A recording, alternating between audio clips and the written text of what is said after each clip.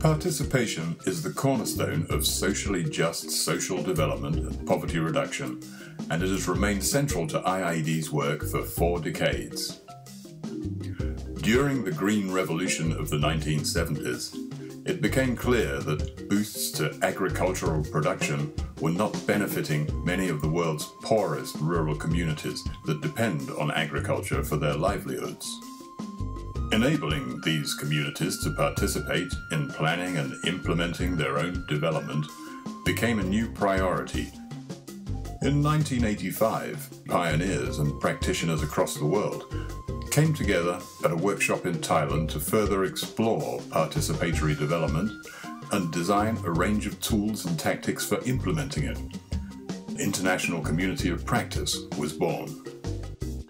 Experience and expertise in this new field was evolving quickly. In order to document and share it, IIED and the Institute for Development Studies conceived and created a new journal for practitioners. Originally called RRA Notes, the journal was renamed PLA Notes and later again as Participatory Learning and Action. Over its 25 year publishing history, it provided a voice from the field and a place for practitioners to share their experiences on the ground. With a readership of over 20,000 people in 121 countries and its international expert peer review panel, Participatory Learning and Action became a leading authority on participatory processes, addressing new and diverse challenges such as adaptation to climate change, Web 2.0 technology, and youth and governance in Africa.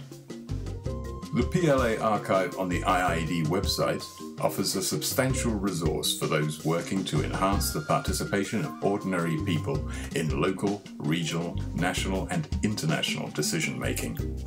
These pages contain the content of the journal series from 1988 to 2013, with individual articles and complete issues available for free download.